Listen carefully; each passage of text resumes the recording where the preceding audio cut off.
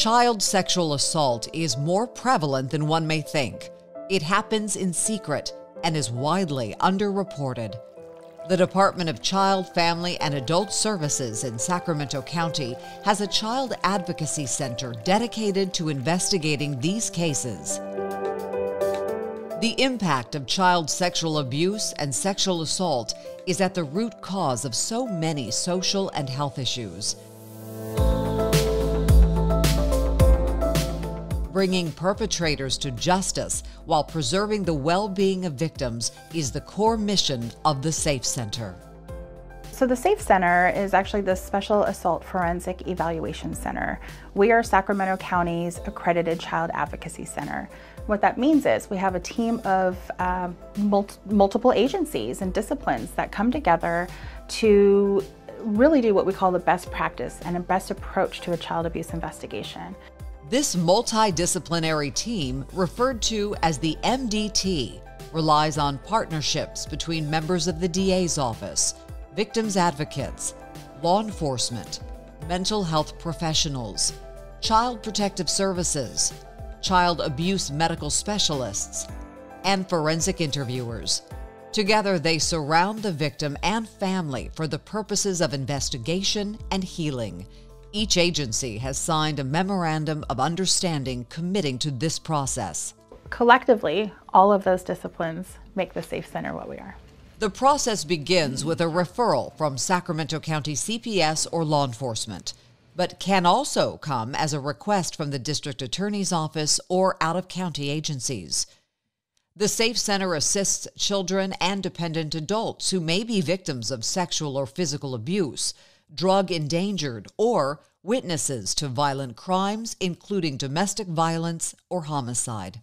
Rather than talking to a police officer or a detective, uh, we have them talking to someone in a much um, more kid friendly environment um, that's going to um, allow them to speak freely, to feel safe. The reason we call it the Safe Center is because it is a safe place. The goal is to be able to uh, minimize the times that the child has to talk about an event.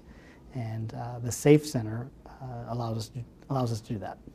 In an effort to maintain legally defensible and consistent practices, each interviewer provides the family a similar explanation.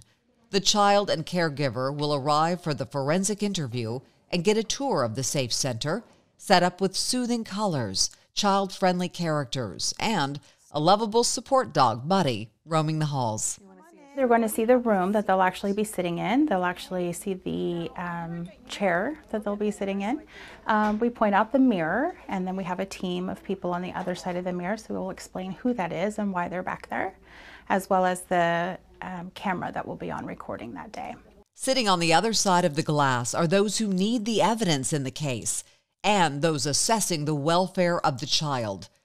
For cases that go to trial, detectives are routinely called to testify as to the forensic interview and safe center process.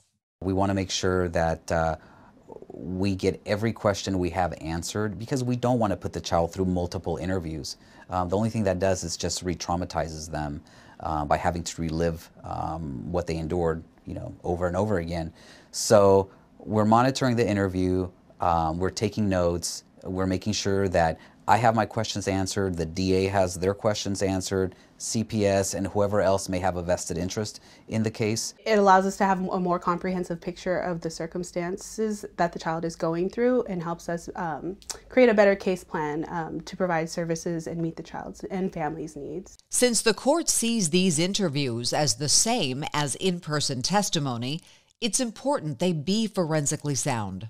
So, forensically sound means that we're going to be able to admit it into court and that we're going to be able to uh, defend that the questions were asked in a uh, appropriate way. We want to be sure that we're gathering evidence in a way that um, juries can rely upon. While information is the goal, the child's welfare always comes first, and forensic interviewers are trained to interview children as young as two years old.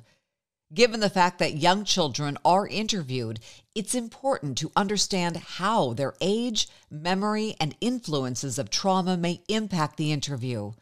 Referring them for a timely forensic interview is essential.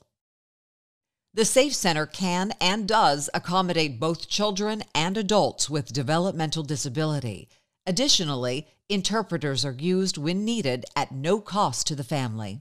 All of my social workers have a master's degree in social work, and then they all have specialized training in forensic interviewing, um, which basically means they've learned how to talk to children and um, ask non leading questions, ask questions in a way that are sensitive, child friendly, and get the most information that we need for the investigation. While the child is being interviewed, the parent or caregiver is shown to a family room where they can be met by a mental health clinician or victim's advocate. And then they have a question about what's going to happen if somebody gets arrested, what's that process like, and that's where the advocates really explain the criminal justice system, um, their, their rights, which are constitutional in California. That's not the case across the country. Um, so we go through the Victims' Bill of Rights with them. Mental health clinicians and victims advocates can also link the parent or caregiver to additional support services for the child, victims' compensation, and support for themselves as they try to help their child through the trauma. We started to get extra funding to support parents because we noticed that the parents would leave and they didn't know what to do. They didn't have somebody to vent to because sometimes the perpetrator can be in the family or can be somebody they know. I like to use the metaphor of putting their oxygen mask on themselves first so then they can help the kids out.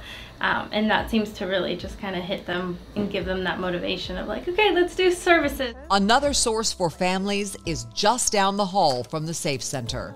The Family Justice Center can help when the family needs additional legal intervention.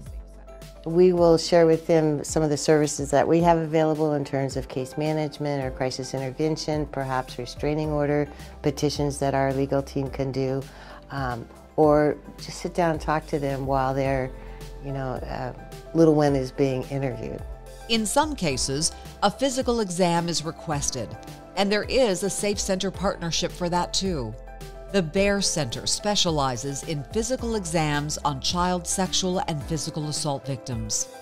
We don't do evidence collection unless it's within 72 hours. So after that, and even you know after 24 hours, sometimes with, with small children, um, we, the, the yield of evidence collection is, is pretty low. While a physical exam is often part of collecting evidence, children heal very quickly, so there is often no sign of the assault. Bear evidentiary exams are authorized and paid for by law enforcement and Child Protective Services. All of us collaborate. So once a month we come together, or twice a month sometimes, and um, go over every single pediatric case that we've done. So every discipline knows what each person is doing. Together, the Safe Center multidisciplinary team surround the child and the family with support linkage to additional services, and seek justice for victims by interviewing them about events that no child should have to endure. It is hard to hear um, some of these stories over and over again, but I see us as a small piece of the puzzle and being able to help to finally get healing and justice for these children.